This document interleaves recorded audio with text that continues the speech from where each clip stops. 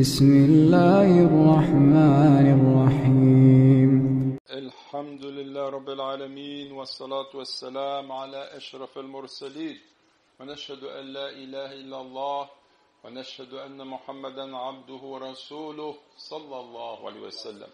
أما بعد فإن الآيات الواردة في القرآن العزيز بعيب الدنيا والتزهيد فيها وضرب الأمثال لها كثيرة كقوله تعالى زين للناس حب الشهوات من النساء والبنين والقناطير المقنطرة من الذهب والفضة والخيل المسومة والأنعام والحرف ذلك متاع الحياة الدنيا والله عنده حسن المآب وقوله سبحانه وما الحياة الدنيا إلا متاع الغرور سابقوا إلى مغفرة من ربكم وجنة عرضها كعرض السماء والأرض أعدت للذين آمنوا بالله ورسله.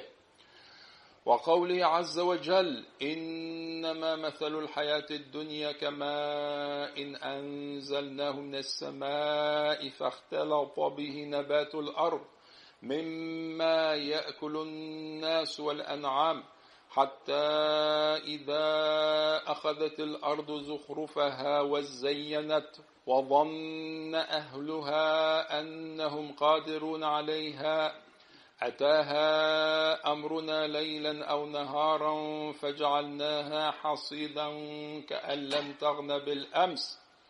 كذلك نفصل الآيات لقوم يتفكرون. وأما الأحاديث ففي الصحيحين قال رسول الله صلى الله عليه وسلم ما الدنيا في الآخرة إلا مثل ما يجعل أحدكم إصبعه في اليم فلينظر بما يرجع.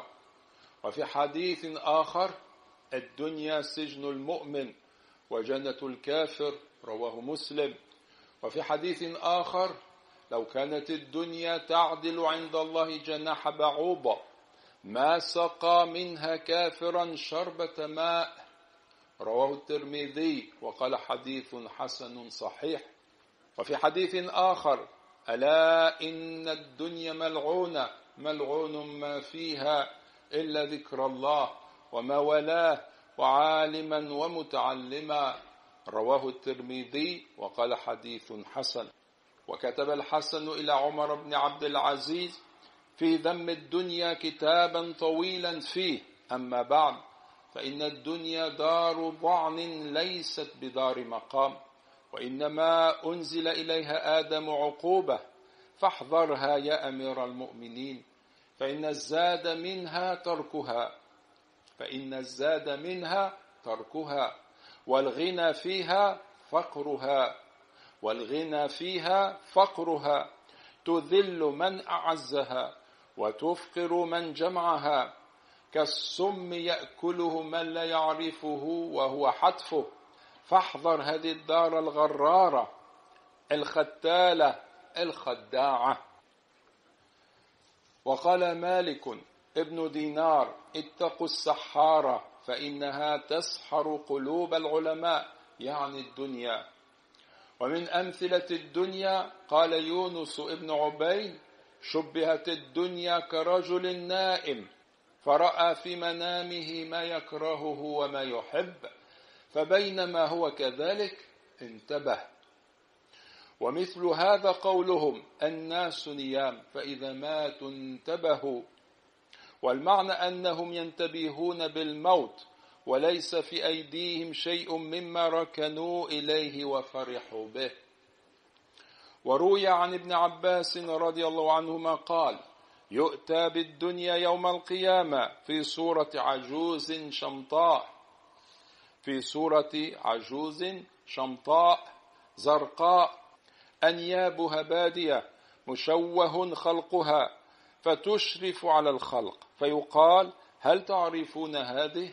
فيقولون نعوذ بالله من معرفة هذه. فيقال هذه الدنيا التي تشاجرتم عليها وبها تقاطعتم الأرحام وبها تحاسدتم وتباغضتم واغتررتم ثم تقذف في جهنم.